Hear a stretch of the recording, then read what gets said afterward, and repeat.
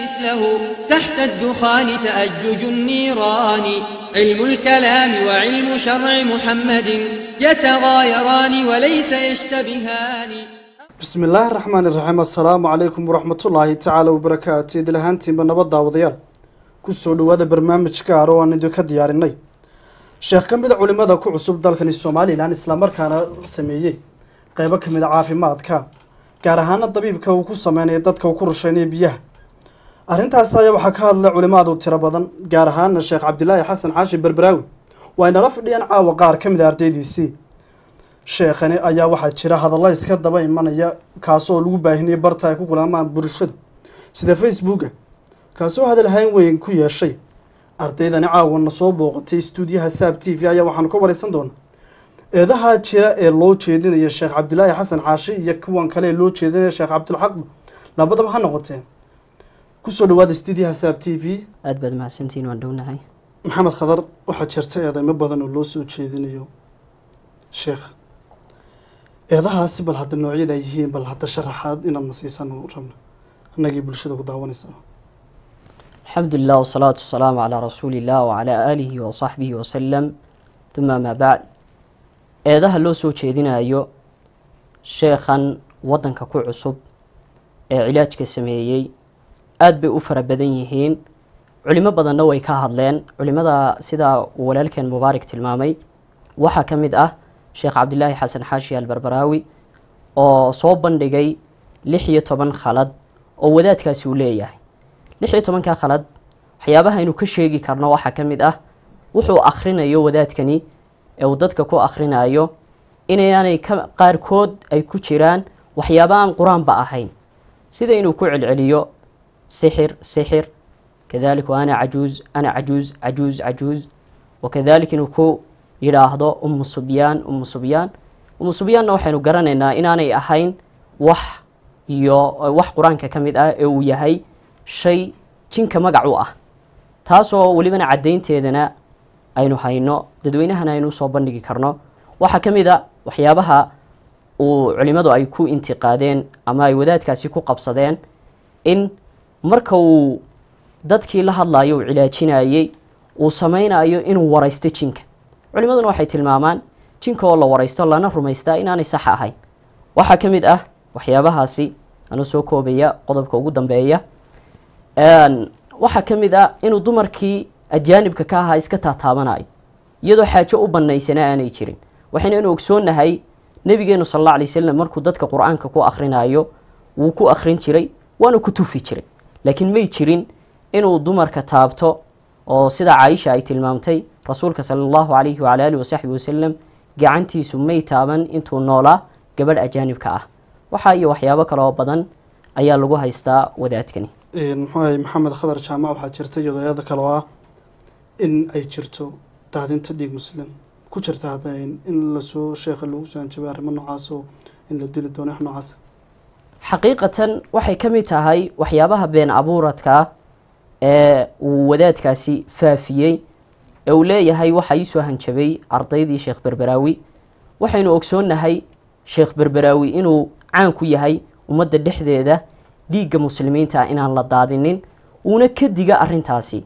Isagoo ka digaya oo in badan ku celinayana ummadda muslimiintii dhammaantood way ka warhayaan gaar ahaan dadka beledkan degan cadaymana waynu u keeni karnaa inagoo kasoo hadaladiisii walilaahi alxamdu wax walo uu yidhi sheekhu badankoogii way duuban yihiin maqal iyo muuqaalba abu surcan usoo noqon doonaa in abu surca sheekh cabdilaahi xasan xaash xaguu ka taagan yahay ama islaam xaguu ka taagan yahay in dhiig muslim la daadiyo بسم الله الرحمن الرحيم الحمد لله رب العالمين والعاقبة للمتقين ولا عدوان إلا على الظالمين صلى الله على سيدنا محمد وعلى آله وصحبه ومن اهتدى بهديه إلى يوم الدين ما بعد بل نقذف بالحق على الباطل فيدمغه فإذا هو زاهق ولكم الويل مما تصفون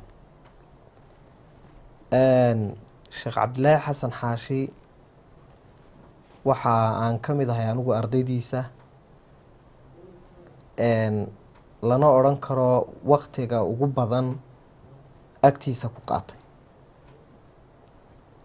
Sheekhu maa min muxaadara maa min dars iyo cashar uu dhigayo ilaa waxaan ahaa dadka waxa weeyaan laasima ee ag joogay xaqiiqatan sheekh cabdilaahi marka laga hadlayo xaqa daadinta dhiigga muslimiinta iyo xaaraantinimeyntiisa inuu xaaraan yahay. Waa mashaayikhda ku caanbaxday in uu in badan uu ka digo arrinta noocaasiya in dhiigga muslimiinta la daadiyo. Bale laga yaabo in arrinta noocaasiya ka hadalkeeda umam iyo dad badan ay ku colaadiyeen. Oo hanjabaado badan iyo dhibaatooyin badan oo aflagaadooyin badan inay ka soo gaadheen waynu ognahay geyiga soomaalidu ay degaan. Maraaxil kala duwan buu soo maray. Xaalado badan oo dhiigag badan la daadiyey buu soo maray. Sheekh cabdilaahi intuu saaxada uu ku jiray dagaaladii dhacay gacan mugle ayuu ka geystay sidii dagaaladaa u caddayn lahaa inay yihiin xuruub iyo dagaalo fitno dagaaladii koonfur ka dhacay. Waxaa sidaasoo kale ka mid a sheekhu uu gacan mugle ka geystay mawaaqifta gaarka ah ee wadanada qaarkood ka dhacday. Waxaan xasuustaa waddankeena somalilan qaraxii u dambeeye ka dhacay. Waktigii dowladdii madaxweynihii daahiriyaale sheekh cabdillaahi xasan xaashi wuxuu ahaa sheekha keliya toddobiyi labaatankii bisha rabadaan ka hadlay xaadisada iyo dhacdada noocaasa waxaa sidaasoo kale uu sheekhu ka hadlay arrimo badan sida qarxintii la qarxiyey magaalada madiina berigii dhoweyd. Mowqif cad buu ahaayo uu ku tilmaamayo sheekhu in aanay bannaaneyn in dhiigga muslimiinta la daadiyo. Waxaa sidaasoo kale sheekhu ku tusinaya in mowqifka uu ka taagan yahay daadinta dhiigga muslimiinta sheekhu wuxuu akhar min mara hal mar in ka badan wuxuu kaga hadlaa ashrido iyo cajalado duuban video iyo kuwo codoba. Duruustiisa xarakaadka iyo dhaqdhaqaaqyada islaamiga ah ee arintaa lagu ibtileeyey ha noqoto jamaacat shabaab ha noqoto nimanka ikhwaan muslimiin ha noqoto cid kasta oo ku howlan inay xukaamta iyo la dagaalamaan oo ay fitno ummadda ay ku kiciyaan sheekhu aada iyo aada buu uga diga abu surca waxaad jeerta iyada markaasi sheekhu arrinkan uu ka hadlayo ee uu sheekhan cabdulxaq la leeyahay uu badanaa ugu jawaabayo ma wax ku cusub baa inu kaga hadlo oo dee sheekhan ku dabagelayo howlihiisa shaqaaba ma wax ku cusub baa markaas uu kaga hadlay? Dad fara badan markii arrintan sheekhu uu ka hadlay ama sheekha ha noqoto ama dad ka agdhow oo dhinaca uu soo saaray ha noqoto ee waxaa loo tarjuntay. Inay arrintani ay tahay arrin sheekhu uu sheekha keligii ku colaadinayo. Laakiin sida sheekha aynu uga barannay sheekhu waxa uu caan ku yahay inuu mawaaqif leeyahay marka dhacdooyin casriya oo aan hore loo aqoonin waddanka ay yimaadaan. Aada buu uga hadlo ama kuwo sidan hadda sheekhan oo kale cabdilxaq ha noqoto kuwo la mid ah ama kuwo kale oo ka duwanbe oo sheekhu mujarad ma aha lama odhan karo waa hujuum shaksiya waa personal attack uu isaga keliya ataagayo laakiin inamaa huwa diin. Waa diin cid kasta oo ku khaldantana waa laga hadlaya sheekhu wuxuu ka hadlay arrintan ka hor arrimo kale oo ka duwan magaalo cad wadaadkii halkaas soo cumaamatay buu ka hadlay. Wuxuu ka hadlay arrinta meesha biyo kulul la yidhaahdo iyo dadku waxay ka aamineen buu ka hadlay. Wuxuu sheekhu sidaasoo kale ka hadlay kala wadaadkii isaguna halkaas soo camirtay. Wadaaddo isaga la nooca amaba u dhow dhow oo fiilkiisa ka hadlayay amaba ka shaqaynayay bay ahaayeen dhinacyo kale waxyaabo kale oo wadankeena ku soo casriya oo ka waxa weyaan yimina. Sheekhuu ka hadla sida kooxdii asaadicuuna bilxaq la odhan jiray ee berigii dhaweed soo baxday. Arrimaha waxaa saasoo kale ka mid ahayd waktigii dadku ay almaxaakim alislaamiya dhalinyartu ay yaacayeen oo koonfur loo yaacayay ee dhalinyartu lahaayeen jihaadda ragga qaarkood carooga u tumayeen ay lahaayeen jihaad baa ka jira xagga sheekhu dee mowqif culus ayuu ka istaagay. Marka bimacnaa sheekhu dhacdooyinka noocana kuwa la midka ah iyo kuwo ka duwan oo wadanka casri ku aba sheekhu aada iyo aada buu uga hadlay. Mana lamana odhan karo waxaan waa iska personal attack iyo hujuum shaksiya laakiin waa arrin diini ah qof kastoo ku khaldamana laga hadlaa. Sax aad baad mahadsantaha abusirca bal daawadayaal waxaanu eegi doonaa muuqaalo cadaymo ah oo bal aynu ku dheehan doono sheekha hadaladiisa ha noqdaan. Ha ahaadaan sheekhani kale ee laga hadlaya isagu wax dabiibaya waa sheekh cabdulxaqi bal muuqaaladaasi baynu wada daawan doonaa siday u eegyihiin daawasho wanaagsan. Aniga markaan ar arrinkaa sameeyey waxaa ii muuqday toddoba iyo toban mukhaalafo oo shareecada islaamka qur'aanka iyo sunnaha khilaafsan oo ninkaa cilaajkiisa ku jira baalahan dadku ay ku wada xidhiidheenna iyadoo carabiya baan ku qoray. Laakiin iyadoo soomaaliya magaalada wajaale oo habeen dhaweyd dacwadan ku tagay oo laiga weydiiyey muxaadaro dumarka mooyaane halkan ka hor kagama hadal. Walaalayaal sixirku waa jiraa ishuna way jirtaa jinku dadka inu durayaana waa jirta in la iska cilaajiyo o la iska daweeyaana waa sharci. Wamaa anzala allahu daan ilaa waanzala lahu dawaa dawada u weynina waa qur'aanka iyo ducada ilaahay subxaana wa tacala wuxu uhi wanunazilu min alqur'aani ma huwa shifaan waraxma qur'aanku inuu dawo yahay ilahay baa subxana wa tacaala sheegay. Nebiguna in la isku daweeyo qur'aanka iyo ducada waa inoo sheegay. Oo ruqyada nebigu waa sameeyey ummaddana waa u sheegay waa ku dhiirigeliyay laa ba'sa biruqa maa lam takun shirka. Ruqyadu ah qofka in qur'aan ama duca lagu tufaa dhib iyo dembi ma laha. Mar hadday shirki ka maran tahay buui nebigu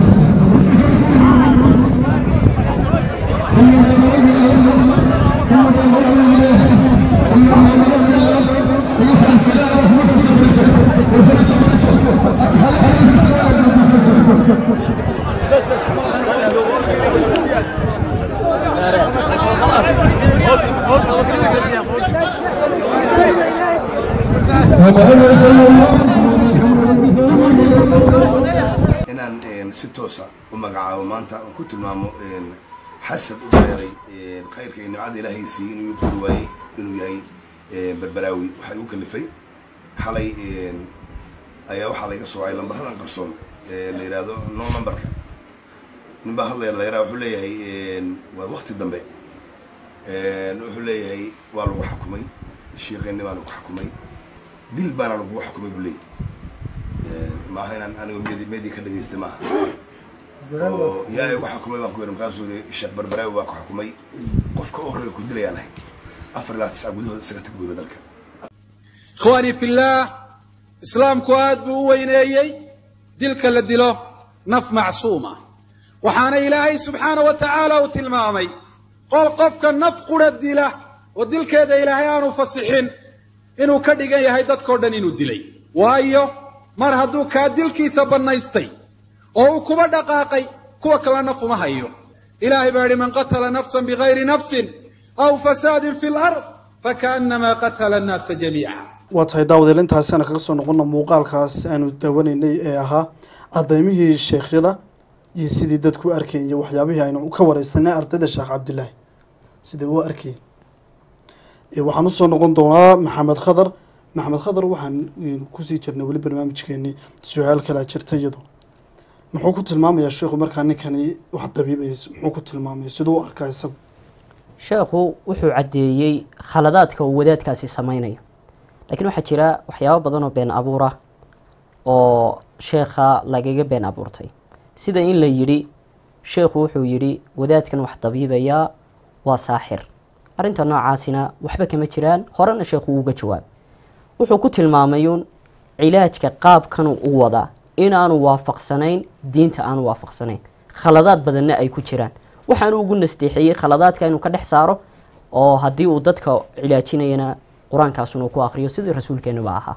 Abusurcan u soo noqon doona abusurca waxaa jira muxuu aha sheekhan maadaama aanu ahayn sheekh culimada muxuu ahay reer somalilan ama qabaa'ilaadka degan reer somalilan aanu ka tirsanayn ma la odhan karaa sheekh cabdilaahi xasan xaashi wuxuu ku colaadinaya hab qabiil oo kale waarigow arrinta noocaasi ah anigu aragti ahaan waxay ka mid tahay waxyaabahan aadka ula yaabay. Xaqiiqatanna waxay waa qalbun lilxaqaa'iq xaqiiqooyinkii baa la rogayaa dadkuna jihadii iyo wixii ay u jeedeen baa la doonaya in laga wareejiyo oo dhinac kale loo rogo. Een, arrintu markay tahay arrin diineed oo diin laga hadlayo waxaa muhiima in la garto arrintan cidda ka hadlaysa iyo cidda een, shaargaraynaysa ee wada wadaagaysa waa cid eh, diinta aqoon ule un qadiyadda reernimaduna dee wadaado isaga reer ahaan uga fogba somalilan ayaa wadankan een, wax ka dhiga oo duruus ka akhriya oo waxa weeyaan arday ku leh.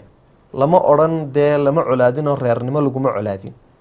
Waa midda labaadee dee arinta ku saabsan inuu reer dhinaca soo saaro wadaadku marka eh, diintii wuxuu ka galay oo khalada la sheego.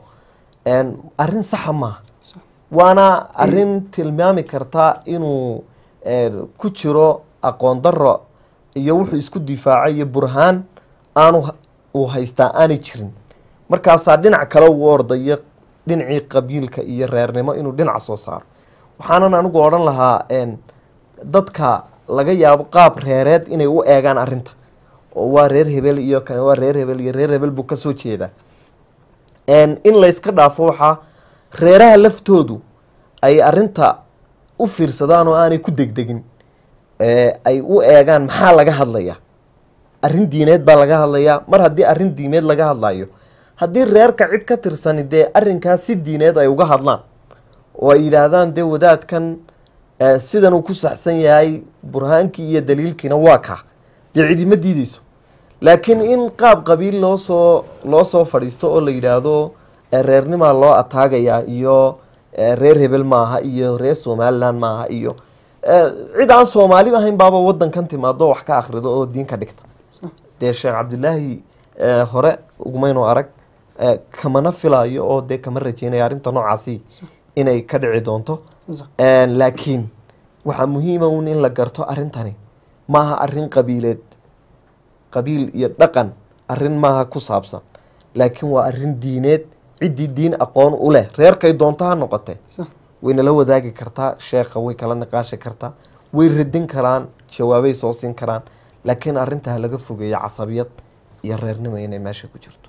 In abisraco iyo maxamed khadar labadiinaba hal su'aal baan idin is wada siin doonaa taasi oo bulshadu markay dhacdo in laysku qabto masalooyinka noocani oo kale ah ee layskaga hor imaado ee culimo badan oo dee qaarba si u arkeen ay iskaga dhex hor imaadaan maxaa la gudboon bulshada? Een, wallaahi mubaaragow arrintaas ilaahay jala wacalaa qur'aankiisa siduu inoogu sheegay baa eh, inagu filan oo ah in markii wax laysku qabto in loo celiyo eh, ilaahay subxaana wa tacaala sharcigiisa iyo kitaabkiisa. Culimmadana loo noqdo oo dadka ahlulcilmiga ah wax la weydiiyo waxaana arrinta noocaasi ay inagu saacideysaa marka fitanka iyo wax dadku ay ku jahwareeraan ay saaxada iyo goobta lagu noolyahay ay yimaadaan badbaado iyo si bad qabta inaynu kaga baxno. Laakiin haddii aynu culimmada xaggooda u laaban weyno iyo eh, oo dee xambaarsan kitaabkii iyo sunnadii saxiixa ahayd waxay arrinta noocaasi nagu keenaysaa inaynu ku jahwareerno maalinba dhinacna aynu u boodno oo aynu noqono sidii qoladii la yidhi yaakuluuna maca dib wayabkuuna maca raaci. Kii eh, yeygii cunaya waraabihii xoolaha cunayena way la cunayaan. Een, dhinaca kalena qofkii xoolaha lahaana way la ooyaya ee xoolaha raacay. Bimacnaa marba dhinac inaynu jahwareerno ayay nagu keenaysaa. Laakiin waxaan xaqiiq aan hubaa culummada raasikhiinta in loo noqdo ayaa badbaadadu ay ku jirtaa wadankan aynu ku noolnahay ama geyiga soomaalida fitan badan baa ka dhacay dagaalo badan baa ka dhacay dhiig badan baa la daadiyey. Waxa badbaaday ciddii culummada ku xidhnayd.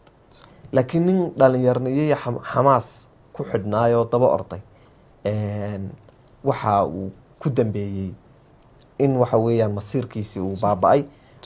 Anigu shaksiyan iyo walaalaha kale aan wax wada dhiganaba xaqiiqatan waktigii wadankan ama saaxadan aynu ku noolnahay ee dabku ka holcayey ee dagaalada la isugu yeedhayey waxyaabahan ku badbaadna waxaa ka mid ah aljuluus maca sheekh cabdalla albarbaraawi ee xafidahu llahu tacaala. La fadhigaanu la fadhiisanay iyo faa'iideysigaanu ka faa'iideysanay wax badan bay naga faa'iidey na- naga qabatay duufaanada dhacay. Maxamed khadar baan isla su'aasha wallaahi walaal mubaarig ilaahayba subxaanahu watacaala qur'aanka inoogu tilmaamay qaabka loo cilaajinayo ama loo daweynayo marka uu khilaaf ummadda dhex imaado. Iyo arrin cusub markii uu ummadda dhex imaado ilahay wuxuu inoo tilmaamay in arinka loo celiyo xagga ilaahay iyo rasuulka. Taasoo ay macnaheedu tahay ciddii cilmiga u lahayd inaynu weydiino. Ilahi subxana wa tacaala wuxuu tilmaamay fas'aluu ahla dikri in kuntum laa taclamuun haddaydaan idinku garanaynin xukunka ay arrintani leedahay cidda culimada weydiiya taasaana sidaa walaalkeena abuzurca uu tilmaamay lagaga badbaadi karaa fitanka. Marka waxay tahay haddii aynu iskhilaafno ciddaynu doonnaba aynu noqonne waa inaynu u noqonno xagga ilaaha iyo rasuulkiisa. Ilaahay muxuu waxaan ka yidhi rasuulkiisu muxuu ka yidhi taa markaynu u noqonno ayaynu badbaadaynaa laakiin haddii kale badbaadi mayno. Weli daawadayaal waxaa soo baxaya iyaguna eedeymo ah in ardayda sheekh berberaawi ay hanjabaad ku sameeyeen sheekh cabdilxaq waa sheekhan wax dabiibaya bal haddaba qaar ka mid a ardayda sheekh berberaawi ayaanu wax ka weydiinay iyagoo ku sugan koobo kala duwan. Sida u arkaan eedeymahaasi loo soo jeediyey iyo in ay jiraan aynu daawana muuqaalkani kooban ee uu idinka diyaariyey saab t v.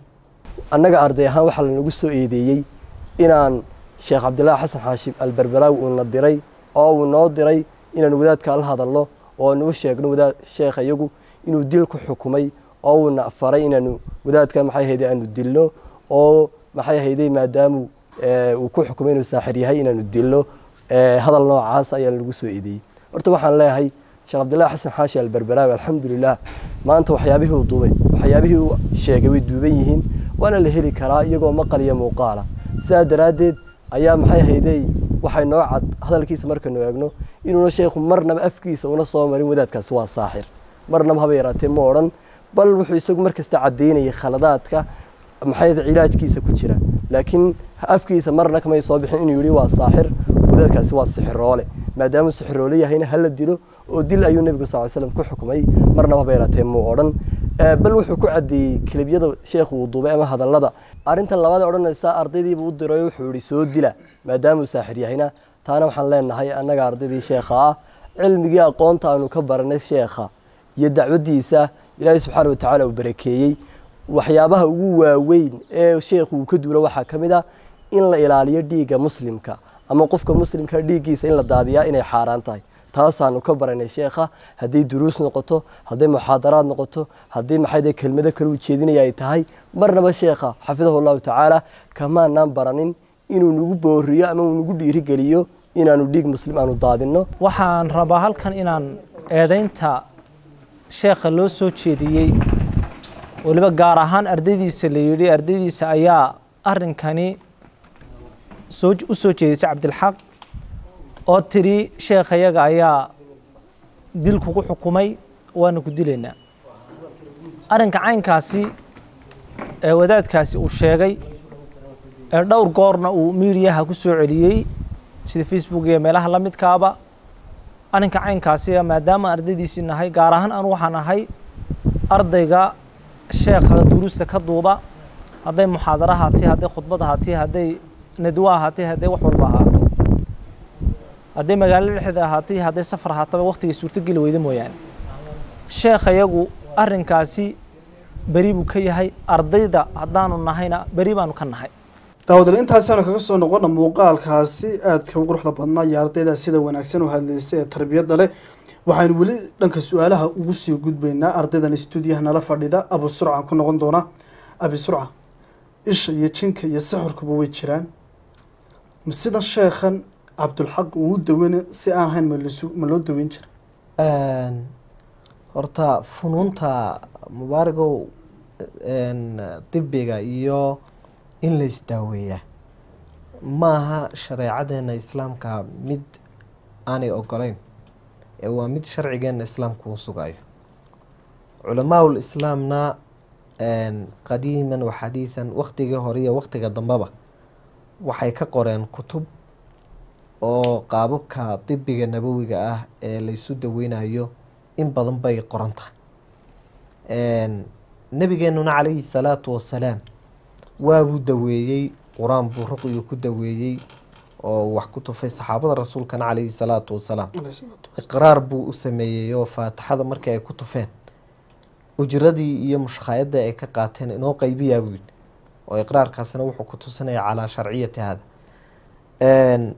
laakiin mar kastaba daaweyntu ama shay kastooba la qabanayaba waxaa loo eegayaa mukhaalafaad iyo waxyaabo sharciga khilaafsan ma leedahay mise mileh haddii dibiga iyo isdaaweyntu aanay sharciga khilaafsanayn waa mid waxa weeyaan lagu sax ah oo diinteena asalkii de waa ibaaxayo inay bannaan tahay.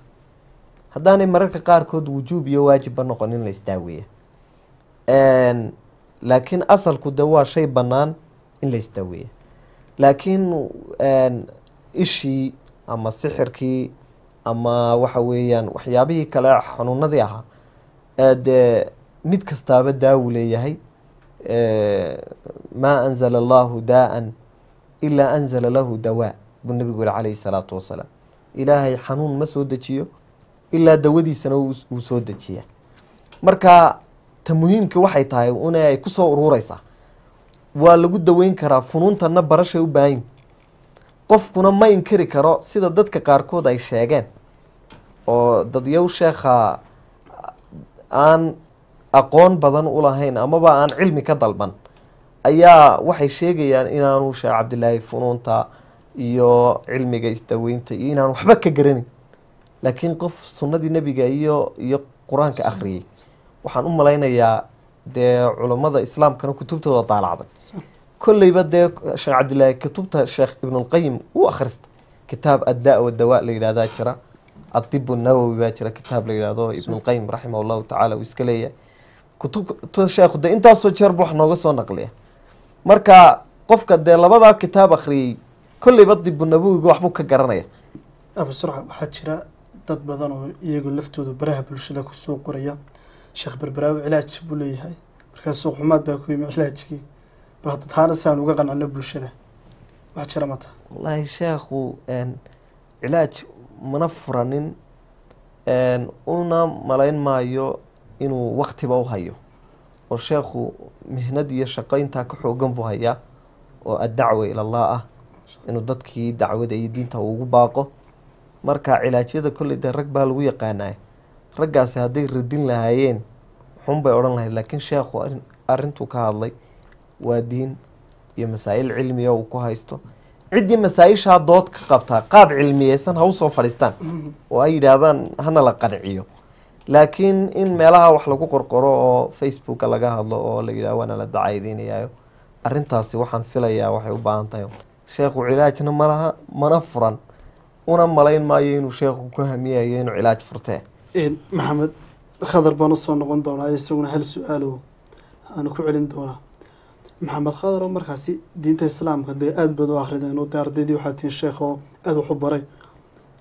Dee diinta islaamka hadda bal maxay ka qabtaa in taangii inta biyo lagu shubo qur'aan lagu akriyo dadna dadka lagu saarseeriyo oo gorarka u dambeyna laiskuba dilaba horta in la isdaweeyo sidaa walaalkeena abuzurcaba tilmaamay waa arrinay diinteennu ogashahay oo rasuulkeena sal alay salam tilmaamay tadaawu isdaweeya oo mararka qaar baabay culimadu tilmaamaan inay waajib tahay in la isdaweeyo laakiin waxay muhiimaddu un tahay qaabkee la isku daweynaya shareecadu waxay u dhigtay dawaabid ayay u dhigtay iminka waxaynu ogsoonnahay qof waliba salaada noocu doono uma tukan karo. Laakiin wuxuu odhanayaa qaabkii shareecadu ugu tala gashay buu u tukanaya. Markuu qaabkaasi u tukado ayay salaadiisu noqonaysaa mid uu ilaahay agtiisa ajar ka helayo waa saasoo kale dawaduna. Dawadii waa waxay shareecadeennu inoogu baaqday dawaabid iyo shuruudna ay u dhigtay. Markii dawaabidda iyo shuruuddaa laga helo ayay noqonaysaa mid saxa. Haddaynu u nimaadno masalada ku saabsan in taangi biyo lagu shubo oo dadka lagu rusheeyo mid uu rasuulkeenu sala allahu calayhi wacala alihi wasaxbi wasalam wax ku cilaajiyey maaha. Sideedaba culimmadu waxay isku khilaafsan yihiin biyo inta la soo qaado qur'aan ma lagu akhrin karaa.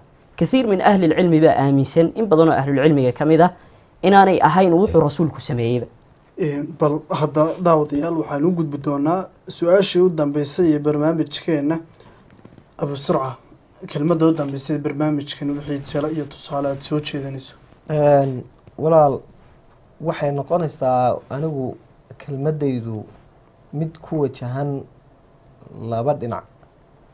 Dhinaca koowaad waa sheekha cabdilxaq oo hawshan isagu ku dhex jira. Eedeymahan hadda iyo arrimahan sheekhu khaladaadka uu ku sheegana isaga ay ku wajahan yihiin waxaan u dardaarmi lahaa in uu ilaahay xaggiisa u soo noqdo wixii khalad ah ee uu galayna uu ilaahay uga toobad keeno ee dadkana aanu qaldin ee uu si naseexo iyo wanaag uu ku jiro arrinta noocaasiya uu u aqbalo. Aanu una arag oo shaydaanku aanu ugu tusin in weerar lagu yahay oo isaga xadgudub iyo saaxad ka saarid isaga lagu wado. Culammadu weligood bay dee ka wada hadli jireen masaa-isha cilmiga ah in la yidhaahdo miiskun la soo wada fadhiisto. Waxaan u soo noqon doonaa maxamed khadar oo isna kelmada u dambeysa iyo soo koobidda. Walaal horta wixii uu ka hadlay sheekheena sheekh cabdalle waxay ahayd masaa'il diiniya waxaynu odhan lahayn wadaadka iyo ciddii difaacaysaba wadaadka cabdilxaq iyo ciddii difaacaysaba wuxuu ka hadlay sheekh berberaawi waa masaa'il diiniya iyo culimada kale ka hadashay sheekhu keliya kuma khaas aha oo arinku kuma gaar aha. Masaa'il diiniyay ka hadleen masaa-isha diiniga waxa uu ahaa waddada loo marayaa in la idhaahdo un arrinkaas waa sax waanaanu aqbalnay. Ama waxa weeyaan inuu idhaahdo uu dood ka keeno oo idhaahdo meye sax maaha anigu waxaanaan sameeyo waxaasan daliil u haystaa taasay ahayd laakiin may dhicin.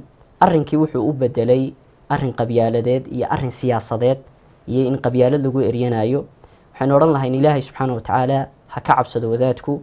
Kuwaas waxay ahaayeen daawadayaal qaar ka mid a ardaydii sheekh cabdilaahi xasan xaashi berberaawi oo ah sheekh ka mid a culimada waaweyn ee somalilan sheekhana ayaa lagu haystay eedeymo badan oo looga soo jeedinaya sheekh uu ka hadlay oo wax ku dabiba dadka biyaha أدبدو مهد سنتي داود يلا تهنو برمامج كان برمامج اللهم مدى السوق من دورنا والسلام عليكم ورحمة الله وبركاته يا رمضان كريم أدبدو مهد سنتي لا تلتمس علم الكلام فإنه يدعو إلى التعطيل والهيمان لا يصحبي بدعي إلا مثله تحت الدخان تأجج النيران علم الكلام وعلم شرع